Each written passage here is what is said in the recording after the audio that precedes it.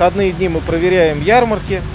А с понедельника по пятницу мы проверяем подветственные учреждения, такие как э, сфера услуг, общественное питание, а, потребительский рынок, салоны красоты.